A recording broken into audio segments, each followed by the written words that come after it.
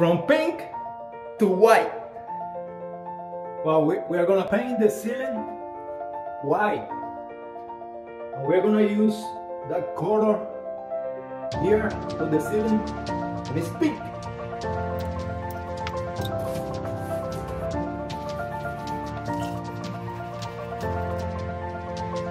If you are painting your ceiling and it's white, you can see where you are painting because it's pink.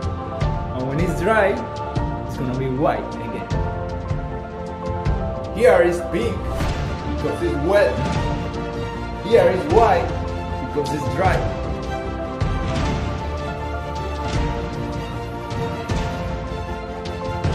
Now you see it's and it's changing from pink to white.